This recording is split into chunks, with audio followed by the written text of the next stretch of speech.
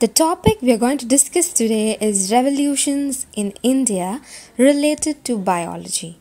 Here on, we have 14 different revolutions and the sector that was improved. Black Revolution, petroleum. Blue Revolution, fish. Brown Revolution, leather and coca. Golden Fiber Revolution, jute. Golden Revolution, honey, horticulture and fruit. Green Revolution, agriculture. Grey Revolution, fertilizers. Pink Revolution, onion, prawn and medicine. Red Revolution, meat and tomato. Round Revolution, potato. Silver Fiber Revolution, cotton. White Revolution, dairy products. Yellow Revolution, oil seed. Silver Revolution, poultry and egg.